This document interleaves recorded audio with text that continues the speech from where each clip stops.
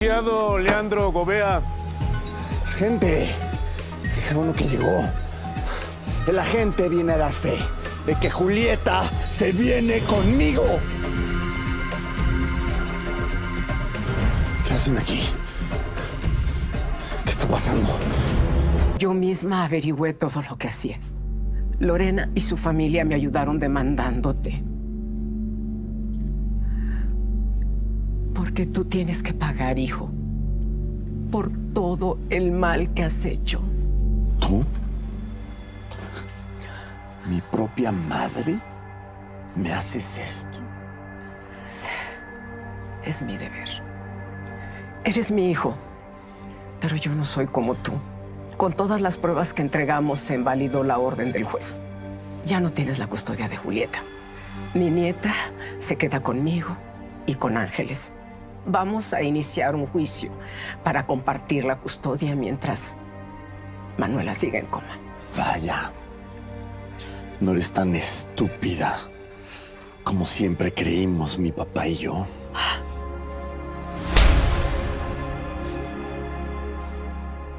Soy tu madre y me debes respeto.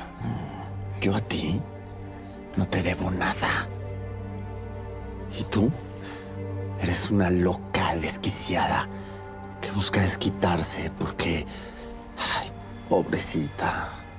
Porque no te amo. Lo que sientas por mí me da exactamente lo mismo. Y te aviso, también te demandé por haberme metido en ese hospital psiquiátrico. Tengo todas las pruebas, Leandro. Vas a pagar por eso.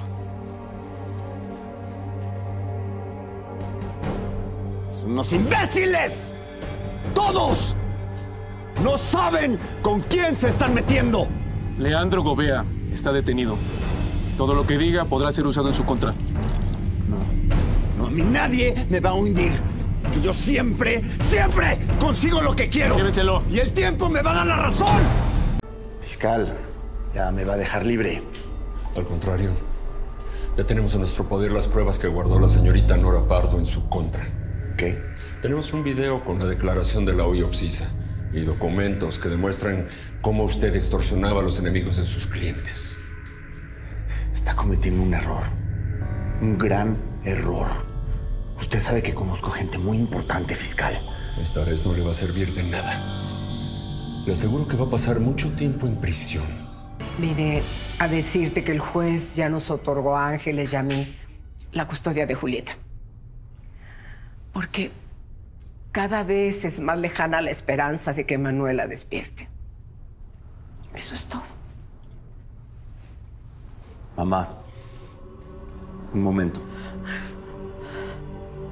Ahora entiendo que tenías razón.